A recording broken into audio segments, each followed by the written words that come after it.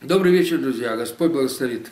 Сегодня вопрос довольно сложный, может быть, не для даже не для одного простого рассказа, но вам будет о чем подумать. Ночные часы у кого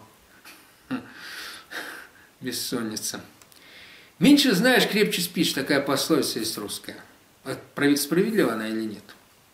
Хороший ли будет сон у человека, который меньше знает? Или наоборот, крепкий сон будет у того, который больше знает?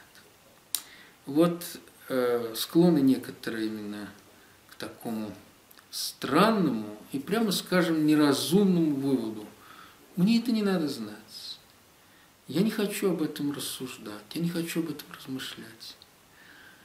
А вы знаете, иногда такого рода вывод можно сделать, но он сам по себе должен быть основан на глубоком размышлении. Приведу простой пример. Вот, вот вы, дорогие мои зрители. Вот у вас есть сосед, или соседка особенно, или сосед вместе с соседкой. И между ними происходит какой-то конфликт.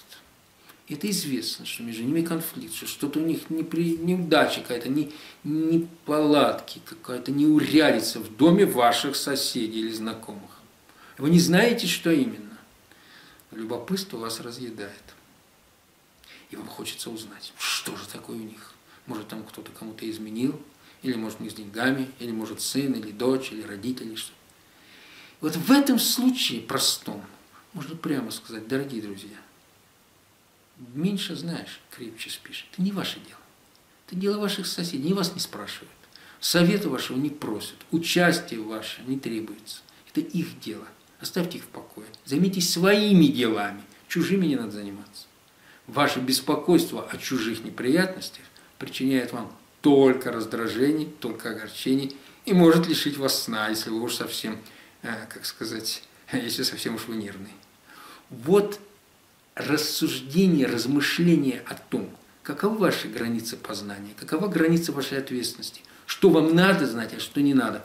Вот такое размышление позволит вам провести границу, где вам э, поставить предел вашему познанию и как крепче спать, чтобы ваше знание не приводило к вам вас бессоннице. Давайте вот так вот и действовать. Всего доброго.